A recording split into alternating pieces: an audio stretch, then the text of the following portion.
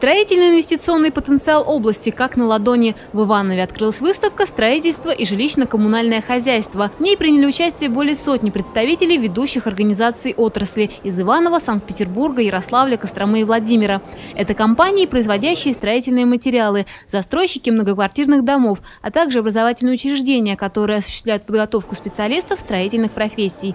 Педагоги и студенты Ивановского государственного политехнического института предложили вниманию посетителей тепловой насос – действующее устройство, которое позволит зимой отапливать, а летом охлаждать малоэтажные жилые помещения. Сотрудники института уверены, этот агрегат не менее эффективен, чем иностранные аналоги и обойдется на порядок дешевле. В настоящее время первый тепловой насос проходит апробацию. Стоимость его сопоставима, если сравнивать с западными э, устройствами, то в 3-4 раза дешевле.